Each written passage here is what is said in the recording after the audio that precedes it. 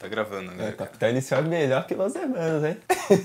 Tá. É... Já rola uns dislikes já no vídeo. Nem sei como abrir esse vídeo de hoje, mas eu confesso que eu fico com um pouco de preconceito com esse cara. E aí eu comecei a ver várias fotos no Twitter, pessoas usando a fotinho dele. Eu fiquei, eu confesso que eu fiquei com um pouco de preguiça de ouvir o trabalho dele. Mas foi um erro da minha parte, confesso. Hoje vamos falar desse sujeito, desse canadense, um rapaz estranho, né? Peculiar. Eu não sei, eu não conheço ele, mas eu vejo ele como uma pessoa de bom coração, assim, só que estranho. Eu acho que é aquela pessoa bem intencionada. É. Você tem que conhecer ela pra depois criar uma imagem. E se você só olhar a aparência dele, meu amigo, vai ser difícil te defender, viu? E aí é diferente. Acabar meu cafezinho, a gente pode começar o vídeo.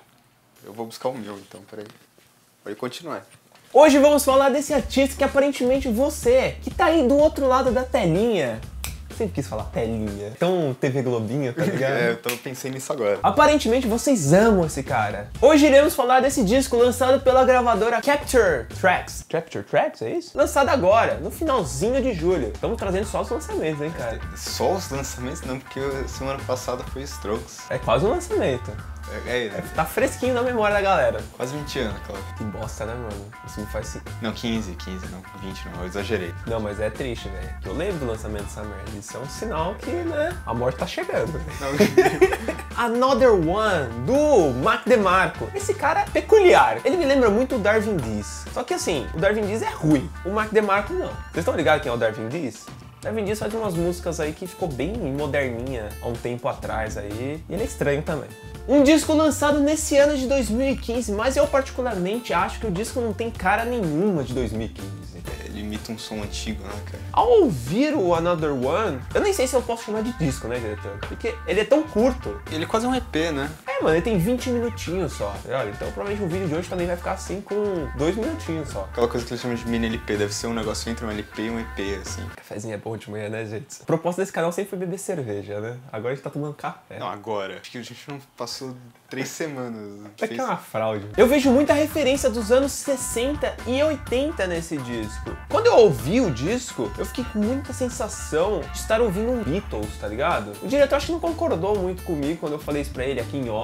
Eu confesso pra vocês, eu tava ouvindo as músicas do disco e eu não sei, eu fiquei com muita sensação de já ter escutado aquilo, manja? Eu coloquei no roteiro que me lembrou muito alguma coisa que o Paul McCartney fez ao longo da vida dele. É, o Seja Paul, ali- o Paul, ele, é- ele é mais parecido, assim, porque ele teve muitas fases na carreira dele, né? Teve, ele já fez muita coisa diferente. Mas Beatles eu acho que meio. não tem muito a ver, assim. Eu não acho que, tipo, tem uma música de começo ao fim que lembra Beatles. Eu acho que tem alguns momentos dentro da música que lembram dos Beatles. Então ali, tipo assim, sei lá, 10 segundos ali de, um, de uma passagem de uma música, isso me, me lembra alguma coisa de Beatles. Aí outros momentos me lembram coisas de Paul. Provavelmente você que tá aí do outro lado, que usa o avatar do Mark DeMarco no, no Twitter, no Facebook e tudo, você deve entender mais. Você acha que tem a ver isso que eu falei? Deixa aí nesses comentários muito loucos. Eu não sou nenhum conhecedor do conjunto da obra do Mark DeMarco. Eu acho que ele tem quatro discos lançados, é isso, diretor? Quatro? Dois. Sim, Dias com de Salada e esse. Eu lembro que o diretor chegou pra mim um dia e falou assim: Ó, escuta esse disco. Eu escutei o dois, a minha recordação na minha cabeça é que eu não gostei muito. Aí eu escutei os Dias de Salada e agora eu escutei o Another One. Eu fiquei com a sensação que o disco Dias de Salada, eu vou falar Dias de Salada e foda-se, é bem parecido com esse,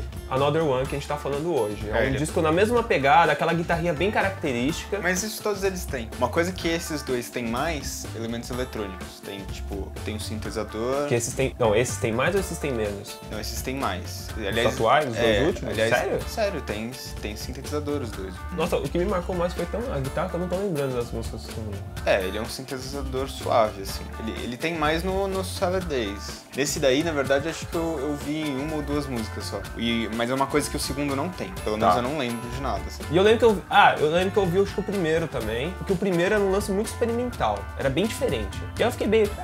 Mas os Dias de Salada e o Another One eu achei bem interessante. Porque tem essa guitarra que realmente, por exemplo, o diretor falou dos sintetizadores e eu particularmente nem lembro de ter ouvido sintetizadores, cara. Assim, muito difícil falar essa palavra. E realmente o que me marcou foi essa guitarra. E acho que é o que mais marca mesmo. Porque eu acho que o Mark DeMarco conseguiu achar uma, um caminho e, tipo, e, e que essa, esse caminho meio que caracterizou ele como artista, tá ligado? Porque o estilo dele é muito foda, assim. Ele conseguiu combinar muito o estilo de composição dele com esse som lo-fi. E o timbre da guitarra e esse som tal, combinou de um jeito tão foda que você escuta e as primeiras quatro notas já sabe que é ele, assim, sabe? Exatamente. E eu acho muito outro, outro lance que eu acho muito louco é que, tipo, você olha pra ele, você não dá nada pra ele, tá? Não. Você não dá bosta nenhuma, só que é um bosta. Mas, mano, não, cara, a voz dele é muito boa. E esse lance com essa guitarrinha que, sei lá, em alguns momentos lembra até um violão, tá ligado? Alguma coisa, tipo assim, sabe? Uma É. coisa bem light, assim, bem leve. É. Aliás, não tem quase nada de distorção. Exatamente. E tipo, isso, isso ficou muito marcado. Isso combinou muito essa, esse- essa guitarra que ele achou pra combinar com a voz dele. Acho que ele nesse disquinho aí, ele, ele foi um pouco mais ousado nos solos. Tem, tem uma das Hum. músicas lá que ele fez um solinho mais, mais crer. elaborado que ele não tinha no- nos outros. E outro ponto que eu coloquei aqui no meu roteiro, que me chamou muito a atenção, que eu senti que o Mark DeMarco faz as músicas que ele acredita. Coisas meio que, tipo, vem do coração. Às vezes com uma letra mais alegre, às vezes com uma letra mais triste, mas coisas que real- realmente ele está sentindo. Não querendo fazer um disco vendável, tá ligado? Que vá, tipo, vender milhões de cópias. Inclusive, eu acho que esse disco foi um lance que ele meio que ele gravou e disponibilizou pra galera ouvir, tá ligado? Eu não senti que ele teve a intenção de fazer realmente um disco. Diferente dos outros três registros dele, que são discos grandes e tal, que realmente. Eu acho que ele tinha isso gravado, disponibilizou pra galera. Inclusive eu tenho a história da gravação do disco. Realmente acho que confirma isso que eu estou dizendo. Mas acho que o, o bacana é isso, que é fazer a música que ele quer fazer, entendeu? Provavelmente o diretor já me falou aqui que tem umas diferenças entre um disco e outro, que ele conhece um pouco mais. Cada momento a pessoa tá numa vibe. Tem dias que eu acordo feliz e o vídeo eu venho aqui gravar e o vídeo fica muito bom. Hoje eu tô meio downer aqui, tá ligado? Meio, uh, talvez o vídeo fique com um ritmo diferente. Acho que, mas acho que é o lance da vida. Você não acorda bem todos os dias. Depois de tantas ofensas ontem, eu fiquei meio downer aqui. Com aquele vídeo do Strokes. né? Ah, fiquei triste aqui. E eu acho que outra coisa que deu esse ar mais coisas do coração foi a questão que o disco foi praticamente um home office. O Mark DeMarco gravou dentro da casa dele, lá em Nova York, que aparentemente ele tem um estúdio, e ele fez aquele lance, tá ligado? Aquele lo-fi. É muito ambíguo falar de lo-fi, né? Porque hoje em dia o lo-fi pode ser entendido de duas formas. Uma, aquela gravação caseira, e outra como um estilo musical. Deve ter dois tipos de lo-fi. Aquele que é manipulado pra parecer antigo Sim. e o que é gravado com instrumentos. Que é realmente. Com coisas antigas, com microfones Exatamente. antigos. É porque quando você vê uma banda desse tipo que eles manipulam pra ficar antigo, tá até a banda é, é- é tida como estilo lo-fi, tá ligado? Não é o caso do Mark DeMarco, ele não é uma banda nesse estilo lo-fi. Só que ele é lo-fi pelo fato que ele grava dentro da casa dele, com os instrumentos que ele tem, e automaticamente você fica com essa impressão daquela coisa caseira. E é realmente isso. Ele gravou, se eu não me engano, ele gravou em duas semanas esse disco. Uma semana ele compôs as letras e na semana seguinte ele gravou. E isso foi entre a turnê do Dias de Salada. Então ele teve uma folga aí de duas semanas, entre um show e outro, foi pra casa lá, tomou uns café, usou umas drogas. Sabe que ele usa umas drogas? Ele tem cara que usa umas drogas, né? Tem. Eu vi, eu, eu vi que rola uns lances dele que ele fuma pra caralho. Várias montagens dele com os Malboro, tá ligado? Nadando umas piscinas de Malboro. Ele, ele é bizarro. Mas ele deve tomar umas picadas na veia, cheirar uns pó, tomar umas balas. Se eu tiver errado, desculpa. Mas é que tem cara. É tipo vocês falando que eu sou viciado em cocaína. Eu nem uso, mas, né, tem o cara. Eu acho que esse é um lance bacana, que ele teve todo esse lance de dele gravar o disco. Por isso que eu falei, acho que foi um lance que ele gravou por tesão próprio, tá ligado? Ah, tô aqui, tenho esse tempo livre, tô com umas músicas, vou gravar. E depois ele disponibilizou pra galera na hora que tava pronto. Acho que não foi um disco, assim, proposital. Ah, tô aqui, fiz, ah, eu vou liberar aí pra galera pra ver o que, que eles acham. Eu acho isso muito legal. Eu gosto muito desse lo-fi.